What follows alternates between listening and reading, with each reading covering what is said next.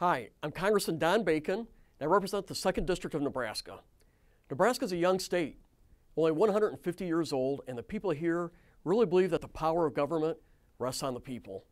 In honor of Bill of Rights Day, I want to reflect on what our Constitution means to me as a member of Congress, but also as a veteran and a citizen of the United States. Our Constitution and Bill of Rights makes our country the greatest and best in the world. These documents guarantee that no one person will oversee our personal lives or our liberty and freedom. In order to guarantee that, our founding fathers, the people who wrote these documents of freedom, designed a government that was vested in what is called separation of powers. The separation of powers led to the formation of three branches of government, each with different roles. The legislative branch, which, make, which makes the laws, the executive branch, which executes and enforces the laws, and the judicial branch, which interprets and applies the law. As a member of the legislative branch and as a citizen, I hold the importance of Article 1 of the Constitution very close to my heart. Article 1 is what established our two body Congress, consisting of the House of Representatives and the Senate. The House of Representatives has 435 members, including me, which are distributed throughout the states based on population, while the Senate has two representatives from each state. These two legislative bodies were created so that the power of authority did not solely rest with one institution, helping to create checks and balances.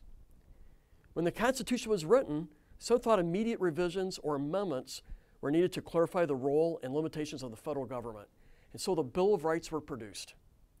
The Bill of Rights includes 10 amendments that were ratified by the states. The 10th Amendment, which is often overlooked, is important because it says that any powers now given to the federal government belong to the states. This ensures that the people have yet another way to, to have a say in how laws governing them are made locally. State and local laws can develop uh, them based on their needs and wants.